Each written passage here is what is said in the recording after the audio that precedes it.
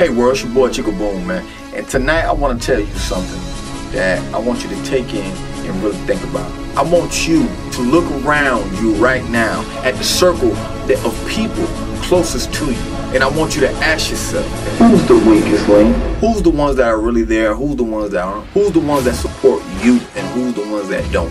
I want you tonight to put standards on the people around you so so high that'll make the weak ones X themselves out. You see, sometimes you don't gotta fire nobody out of your life. Sometimes that person will fire themselves just on the pressure that you put on that person, the expectations that you put on that person. Even though you shouldn't put no expectation behind no man, because man will always let you down. But you put those expectations for them so they can let themselves out. They can exit out of your life and make your job a whole lot easier.